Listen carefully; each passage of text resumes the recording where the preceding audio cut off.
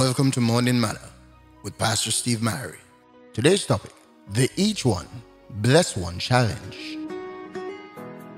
So Boaz took Ruth and she became his wife. And when he made love to her, the Lord enabled her to conceive, and she gave him a son. The woman said to Naomi, Praise be to the Lord, who this day has not left you without a guardian redeemer. May he become famous throughout Israel. He will renew your life and sustain you in your old age. For your daughter in law, who loves you and is better to you than seven sons, has given him birth. The women living there said, Naomi has a son, and they named him Obed. He was the father of Jesse, the father of David. Ruth 4 13 through 15 and verse 17. It is so easy to do evil. As a matter of fact, it's not a challenge for anyone to do evil. But when it comes to doing good, many times persons have a challenge. Paul would often encourage a church to do good to one another, to be kind and affectionate one to another, because Paul understood the principle of God's people living in love. As a matter of fact, Jesus said the entire laws and prophets are fulfilled in one word love. The second greatest commandment is to love your neighbor as you love yourself. Understanding this principle is very powerful. And when we love, it is going to be followed by giving. We're encouraged by the scripture to give and we shall receive. With that in mind, I want to challenge you today, child of God, to not just want to be blessed, but also be a blessing. Giving sends such a strong message. Sometimes you don't know what somebody's going through, but just a small gesture of love can boost their spirit. I remember some years ago, I attended a fasting service at church. And after this service, this quiet, unassuming sister just came and gave me something which was pretty simple. Now, maybe to somebody else, they would have looked on it that it was just a simple gift. But at the time, she did not know what I was going through. And that one gesture boosted my spirit and lifted me out of the pit that I was in. And that very day, I was able to bless others because she blessed me.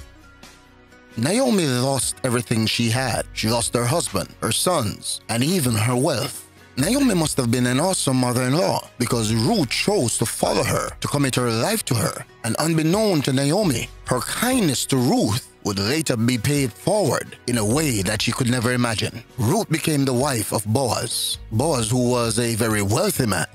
Because of Naomi's kindness, God made sure she was taken care of. God made sure that her blessing came back full circle. Not only did Naomi receive all that she lost, but she was able to obtain even more. And in addition to that, she received a grandson, something she might have thought she would never have. If you notice, the scripture said that God opened Ruth's womb, and that child was the grandfather of David. Naomi's kindness was able to meet her down the road when she was at her lowest and lifted her up.